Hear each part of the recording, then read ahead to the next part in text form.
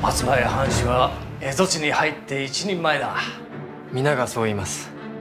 兄上が一緒なら心配ないと。一人前の武士ならあいつを追え。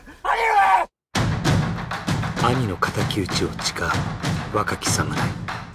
追いかけた先ではアイヌの間で和人への反発の動きが高まっていた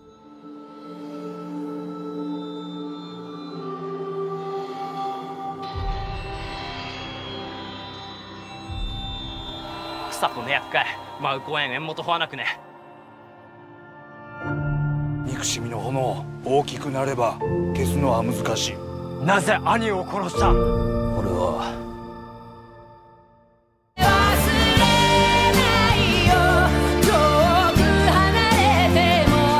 幸次郎さんは生きてます。必ず敵を撃ってくれます。奴らの隠れていそうな場所を教えろ。